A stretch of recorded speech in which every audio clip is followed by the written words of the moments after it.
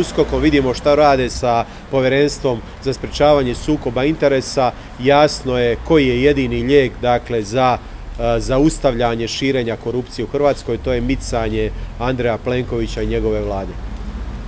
Software ili afera Žalac je postala afera DORH.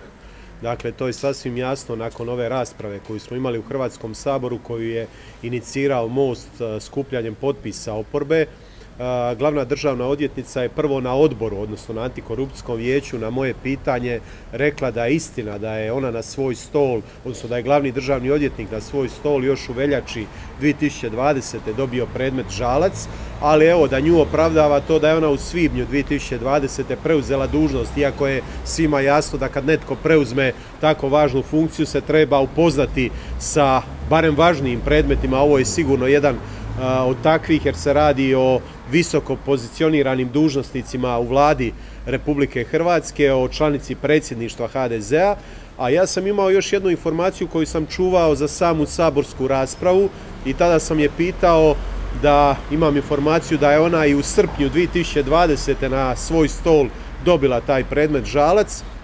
Ona je rekla da je to istina, ali da ona taj predmet nije vidjela. Dakle, i sad imamo ove nove informacije koje pokazuju da je i prije tog srpnja 2020. u lipnju bio jedan briefing u, u DORH-u gdje se zajednički odlučivalo o tome što će biti sa ovim predmetom i umjesto da taj predmet ili bude zaključen ili da se zapravo postupanje nastavi ili da se proslijedi Uredu Europskog javnog tužitelja koji je tada već osnovan. Dakle, u tom mjesecu ništa od toga se nije dogodilo imamo situaciju da je zapravo Ured Europskog javnog tužitelja taj mrtvi predmet koji je bio mrtav i u Uskoku i u Dorhu oživio i to ne po nalogu našeg Uskoka ili Dorha nego po nalogu Olafa.